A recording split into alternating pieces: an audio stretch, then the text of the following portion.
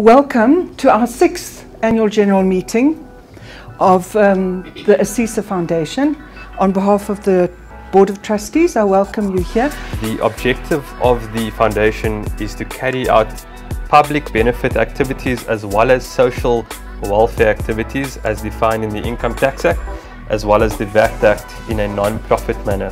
Our strategic objectives ultimately is to be a thought leader in the space of consumer financial education. And because we're a broad-based ownership scheme, our beneficiaries have to be at least 85% black South Africans. We have contributed 57% Lee, is it, to the actual total reach of the ASISA Foundation.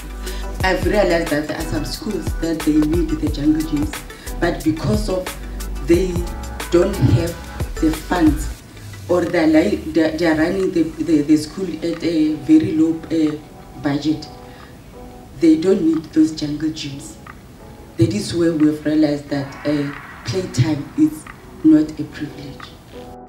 We actually make sure that we're going in and doing the tests and making sure that actually these learners that we're, that we're, we're offering this financial ed education programming to actually are gaining knowledge and in fact changing some of their attitudes and beliefs and, and, and, their behaviors when they actually leave the program. So there are issues that we need to constantly deal with and raise, but our trainers become the, the foot soldiers and they're a differentiator because what they need to do is to learn to own the process.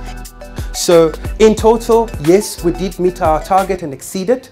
And the most important thing as well is the retention of students. Save continually, and that needs to be your message to your people, please, or what your sphere of influence. We need to encourage people to save. That's what our country really needs.